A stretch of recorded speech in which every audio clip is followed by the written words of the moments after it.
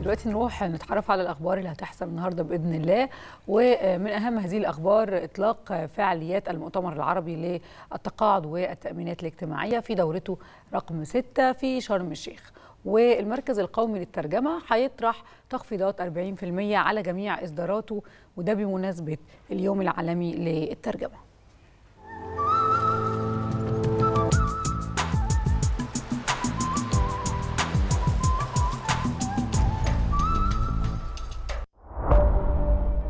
بالنسبة للأخبار المهمة اللي هتحصل النهاردة فهيتم إطلاق فعاليات المؤتمر العربي للتقاعد والتأمينات الاجتماعية في دورته السادسة وهيستمر لمدة يومين في شرم الشيخ. المؤتمر هيناقش التحديات اللي بتواجهها أنظمة التقاعد بالعالم العربي وكيفية التغلب عليها بحضور عدد من الوزراء والمسؤولين العرب وممثلين عن منظمات وشركات دولية.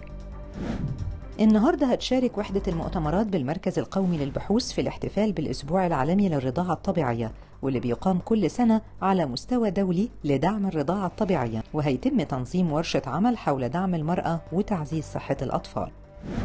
بمناسبة اليوم العالمي للترجمة النهاردة المركز القومي للترجمة هيطرح تخفيضات 40% على جميع إصداراته من النهاردة والحد يوم الخميس الموافق 6 أكتوبر.